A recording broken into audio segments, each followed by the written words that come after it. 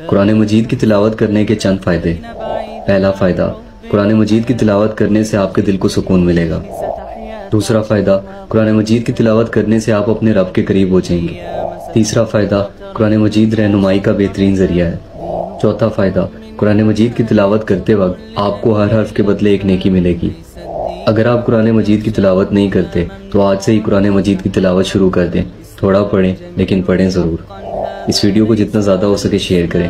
रब फरमाता है, मेरा बंदा, मैं तुझे उम्र भी देता हूँ, ताकत भी देता हूँ। तो इतने गुनाह करके ज़मीन से उठाकर आसमान की छत को लगा दे।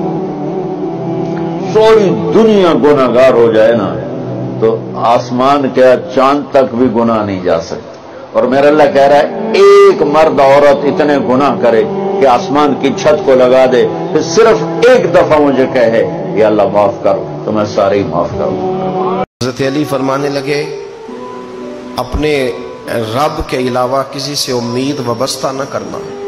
और फरमाया, अगर डरना हुआ ना, कभी तो अपने गुनाहों से डरना।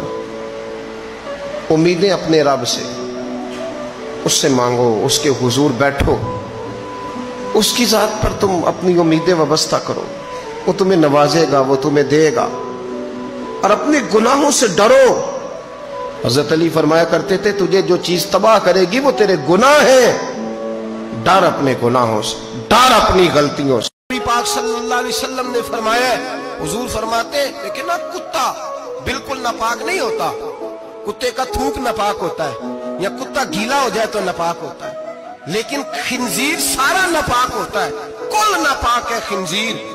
नबी पाक ने फरमाया, खिंजीर भी हो और गंद में लिथड़ा हुआ भी हो पिशाब में लिथड़ा हुआ हो, गोबर में लिथड़ा हुआ हो, पखाने और फुजले में लिथड़ा हुआ खिंजीर खिंजीर हो, उसका जिसम तेरे साथ टकरा जाए तो इतना बुरा नहीं, जितना गैर मैरम औरत का वजूद तेरे साथ टकरा जाए तो बुरा है।